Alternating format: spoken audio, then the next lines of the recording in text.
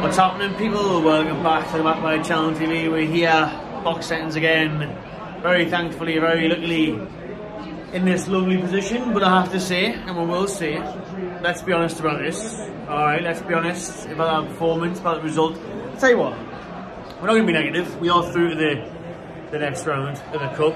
Uh, you know, that's the most important thing. We are through to the next round of the Cup. That's all that matters. We are on the hat for the fourth round, which we know will be against Chelsea here at St James's Park. I feel like the line's better the way, but the background's better that way. So I'm sure you'll prefer that nice green grass instead of those doors in front of me. So I tell you what, it's Chelsea here in just over a couple of weeks' time.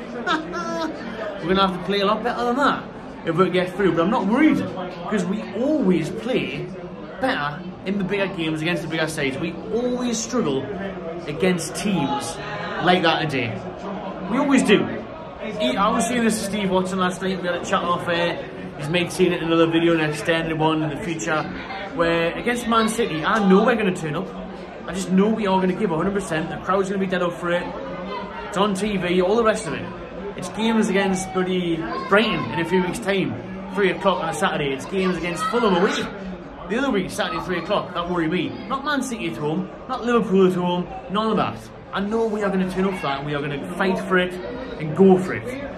Tonight, listen, it's difficult. It's a difficult one tonight because, if we're being honest, you know, against Wimbledon, they are and they did put every single player behind the ball. As you'd expect, they are a League Two side, so they are going to put everyone behind the ball. They're going to make life difficult for us. We're going to have to break them down. We obviously end up making seven or eight changes in that game tonight. Uh, you know, the likes of Joelinton, Schär, Barnes kept the place, but the majority of them were changed. Obviously, all eyes were on William Osula in this game, uh, and he didn't really get any service. I don't want to hound out the lad too much, but he didn't really get much service, did he? You know, he didn't have too much to feed off. He did have the one chance that really stood out in the second half where he went through and he put the ball into the side netting. But our first shot on target was the penalty and was Fabian Schär's opener, the one and only goal of the game. So that doesn't look great. Uh, Schär that gives us the 1 0 lead in the half time. You're thinking, right, okay, we've broken them down. Now Wimbledon, the game's going to open up a little bit. We'll bring on Bruno, Captain Bruno, at half time. You think, right, things are going to change here. Things are going to get better. And they did get better, but it did still end the 90 minutes with only four shots on target, one of them being a penalty. So, listen, I've got to be honest with you, as the title says, that was crap tonight. That was awful. It really, really was. It was a painful, freezing watch. Yeah, that was a cold, crappy watch there to start October, to be honest with you. It was not good enough, and I feel sorry for a lot of the fans, a lot of the kids that obviously kind of get tickets to the games, that only get a chance to come to this one, uh, you know, where they don't get a chance to come to the league games, it's always sold out. That looked like a sellout to me tonight. I don't know what the attendance is, but all the level 7 up there was sold out. You know, Wimbledon fans above us in good voice, and well done to Wimbledon fans before the game with their banner saying thank you Toon Army for the donations that we've gave to their club for the flooding at their stadium and all that. That was good crack, very good. But uh, I've got to say, you know, the performance just wasn't up to speed, it wasn't up to scratch. It was at the Car Carabao Cup or the Salah Cup. Carabao Cup or the Salah Cup. The League Cup or pre-season.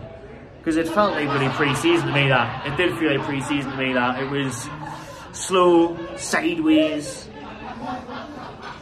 Quite pathetic, to be honest with you. This is League 2 Wimbledon, you know.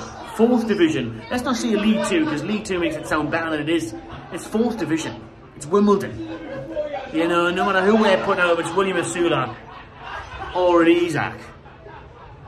Oh, it's got to be better. Anthony Gordon finishes on the pitch there. We'll make some strong subs. Dan Burn comes on for sure. Lewis Hall comes on. You know, some strong subs there. That team's decent. It's not like we've played all the kids. You know, it's not like the reserves are playing. There's no Sanusi out there. There's no, I don't know, Alfie Harrison. Alex Murphy. There's no youngsters out there. It's a very solid team. And listen, I don't want to be negative because we're through through the cup. Listen, positivity. We're through the cup. Fantastic. Fourth round here against Chelsea. I honestly fancy we're more against Chelsea than I did tonight. Because I'm telling you, we'll turn up against Chelsea. The crowd will be rocking. The atmosphere will be up. The players will be up for it. Tonight, with the players, with a lot of them, it's chalk and cheese compared to what we've seen on Saturday, isn't it, against Man City?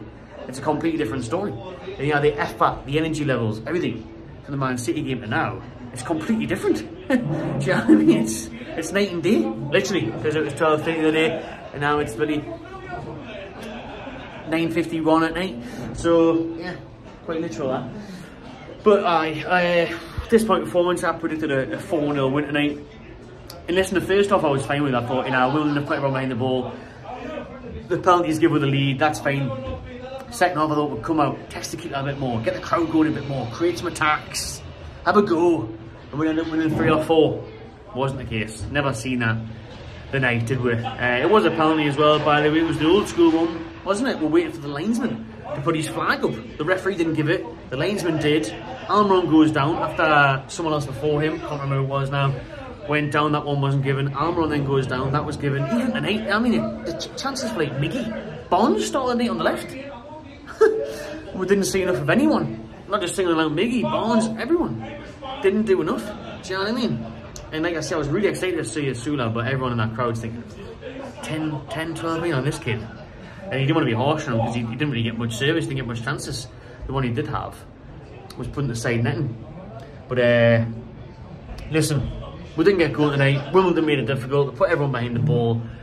But let's finish on a positive. We have been honest throughout, as always, here on the Magpie Channel TV, and let me know your comments below. I know there's a lot of honesty in the uh, social media as well. But the main thing for me is, listen, it was it was difficult. It was going to be tough, but we've got the job done, and we're through to the next round. And that is another home draw for a change. That is a fourth round tie here on the 30th of October, I believe. That'll be the Wednesday night against Chelsea.